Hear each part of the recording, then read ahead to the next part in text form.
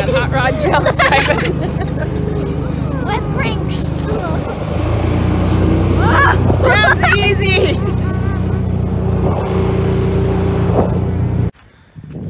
Got the plane over there on the lake, and Brady's taking control of the mule. He likes to go off-road.